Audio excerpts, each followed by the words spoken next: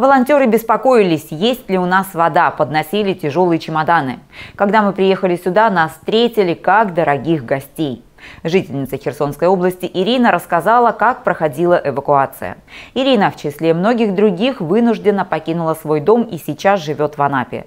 Она с благодарностью говорит о том, как тепло херсонцев встретили на Кубани. Где-то стреляли, где-то взрывалось, даже в городе. И мы видели эти пробитые крыши и разбитые стекла. Но все равно это как-то не укладывается в сознание.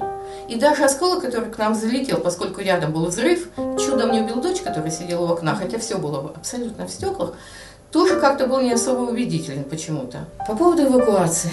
Я потрясена тем отношением хорошим, которое нас сопровождало от входа в автобус и по всей дороге, когда волонтеры тебя беспокоились о том, есть ли у тебя вода, подносили тяжелые чемоданы, это реально важно, сопровождали туда, куда тебе надо.